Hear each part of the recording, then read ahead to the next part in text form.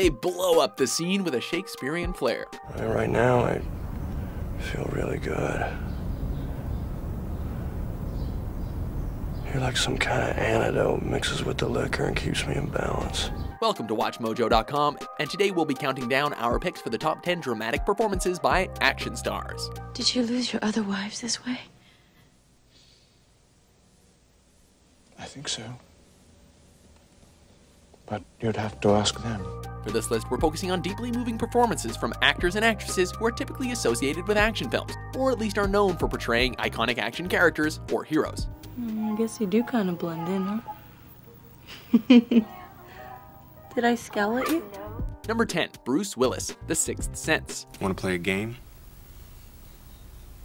It's a mind reading game. By the end of the 20th century, this tough guy actor had established himself as a bankable action star. So most fans were a little shocked to see Bruce Willis starring in some psychological drama directed by, I don't know, some guy named M. Night Shyamalan. Think so? What happened? Well, you know what happened.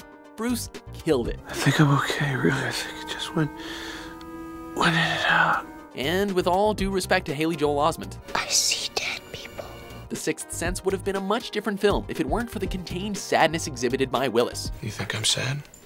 Incidentally, Willis's performance made Wes Anderson's ears perk when casting his 2012 classic, Moonrise Kingdom. What's your rush? You got your whole life in front of yourself. Number 9. Tom Hardy, Locke. Yes, I'll, I'll explain when I'm not driving and when I'm with you and Eddie together, you know? Okay, so how's this for a plot hook? A man drives around for 84 minutes while having 36 phone conversations.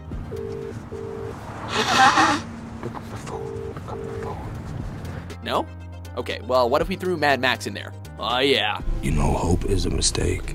In Stephen Knight's subdued character study, life itself is conveyed through Hardy's first rate performance, and his blue collar character comes to grips with father issues, an affair, a work disaster, and a possible divorce. When I left the site just over two hours ago, I had a job, a wife, a home. And now I have none of those things. Hardy effectively locked viewers in, allowing us to ride shotgun and experience his plight in real time. She's very emotional.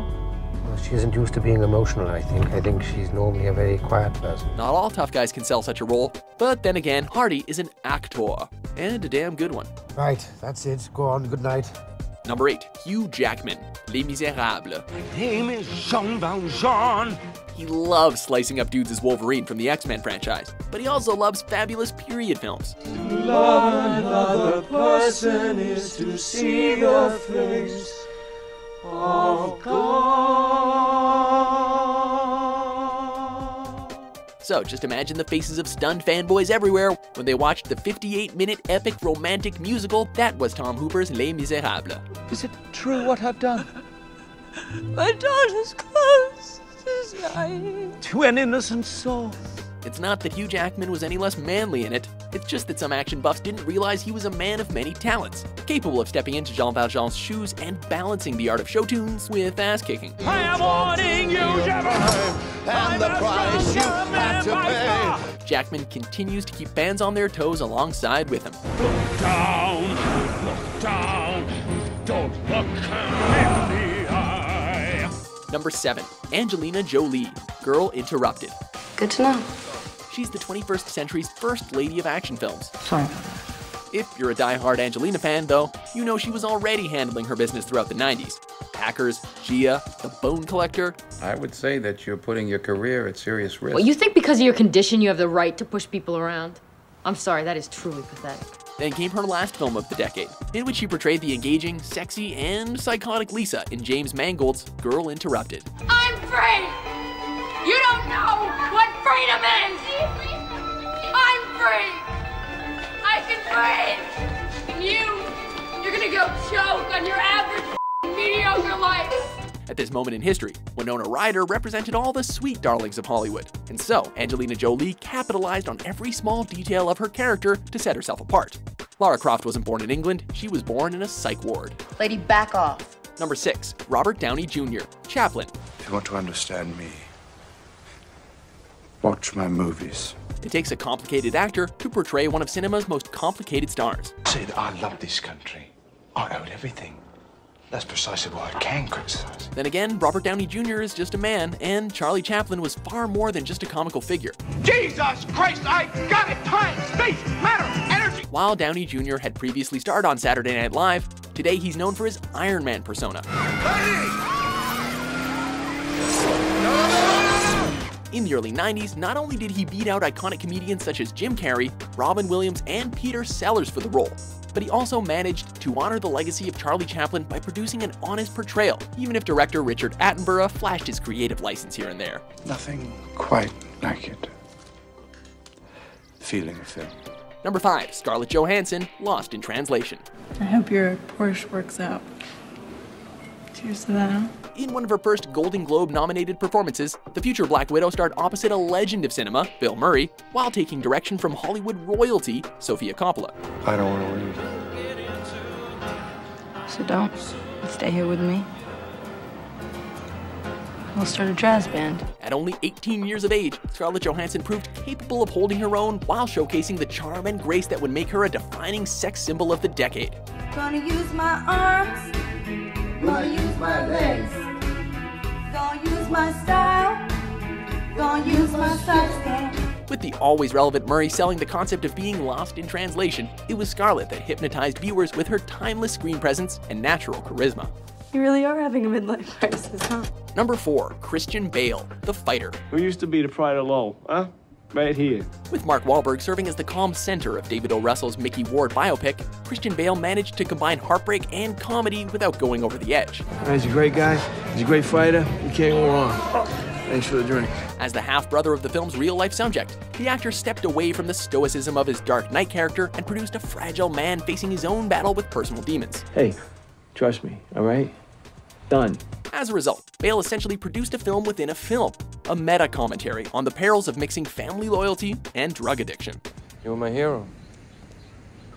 I was. I was. Number 3. Jennifer Lawrence, Silver Linings Playbook. I opened up to you and you judged me. You're an asshole. In a follow up to The Fighter, David O. Russell directed another film about family dysfunction, but with a heightened sense of comedy while also tackling depression and bipolar disorder. How old are you? Old enough to have a marriage and to not wind up in a mental hospital.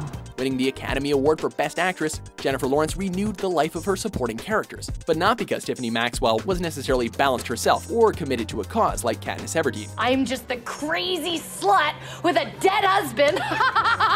nope, she was just trying to get by like everybody else. And the interactions with Pat Solitano unveiled the beauty of recognizing one's personal flaws while understanding the perspective of others. I mean, humanity is just nasty, and there's no silver lining. Much like in Winter's Bone, Lawrence brought a sense of truth to her role. Do you feel that? That's emotion.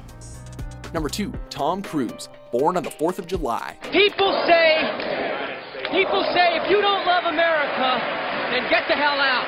Well, I love America based on the real-life experiences of Vietnam veteran Ron Kovic, who co-wrote the film with director Oliver Stone, also a Vietnam vet, born on the 4th of July, floored audiences thanks to the lived-in performance of one Tom Cruise. Yes, that's Top Gun's Pete Maverick Mitchell. I feel the need, the need for speed.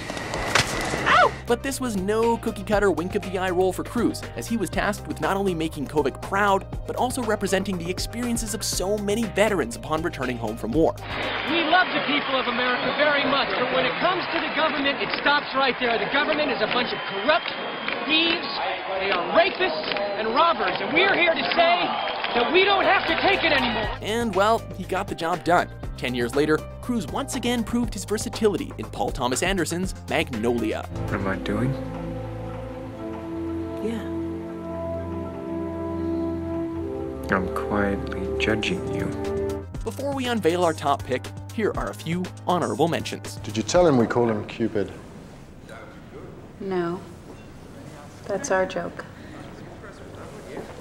I had a chat with young Alice.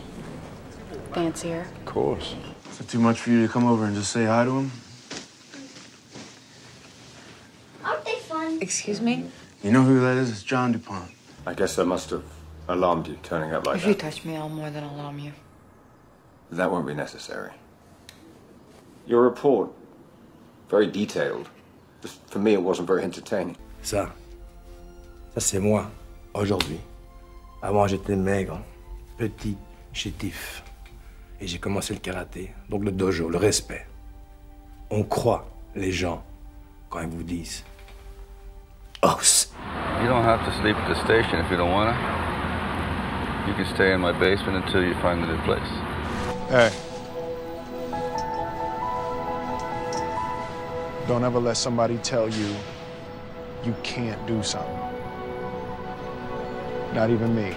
Number 1. Liam Neeson, Schindler's List. How many cigarettes have you smoked tonight? Too many. As human beings, we are all flawed individuals. Steven Spielberg's sobering Schindler's List reminded us that redemption can be achieved through goodwill and genuine respect for others. Power is when we have every justification to kill. And we don't. Playing the purveyor of decency, Liam Neeson channeled the spirit of Oskar Schindler, a German who saved hundreds upon hundreds of Polish Jews and forever altered their perception of a deeply traumatic experience. I could have got more out. I could have got more. At the time, Neeson was most known for his role as Darkman, and he would go on to take the lead in the Taken franchise. But in 1993, he served as the face of the human spirit and what can be accomplished through patience, positivity, and respect. I'm protected by powerful friends. You should know that. Do you agree with our list? What's your favorite dramatic performance by an action star? Are you serious? Oh, I think you know I'm serious. For more mind blowing top 10s published every day, be sure to subscribe to WatchMojo.com. Forgive me.